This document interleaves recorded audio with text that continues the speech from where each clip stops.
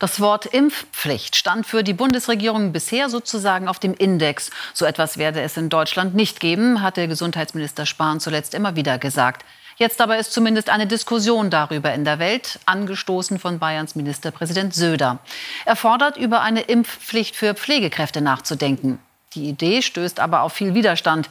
Hierzulande sind nach Angaben des Robert Koch Instituts inzwischen 688.782 Menschen gegen Covid-19 geimpft worden. Eine Impfpflicht, wie sie jetzt für Pflegekräfte diskutiert wird, gibt es in Deutschland nur bei Masern.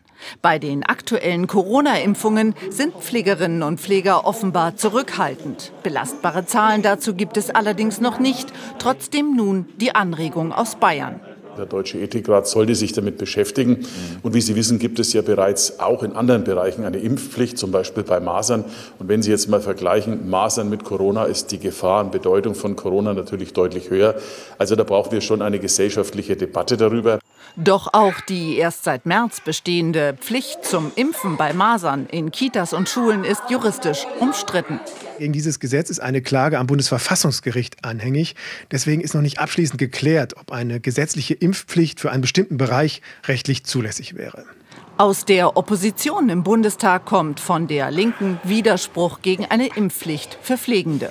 Impfpflicht wird es nicht geben, hat die Bundeskanzlerin, hat der Gesundheitsminister, haben viele immer wieder beteuert und ich finde das richtig.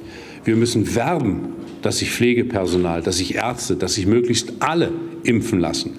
Aber die Drohung einer Impfpflicht wird eher das Gegenteil bringen. Mehr Aufklärung fordert der Deutsche Pflegerat und mahnt, eine Impfpflicht könnte auch zu einem negativen Effekt beim bereits völlig erschöpften Pflegepersonal führen.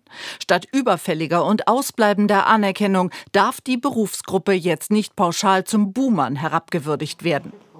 Es fehlt, so der Pflegerat, eine sachliche Information speziell für Pflegekräfte. Die Wirkung der bisherigen Impfkampagne des Bundes sei nicht ausreichend.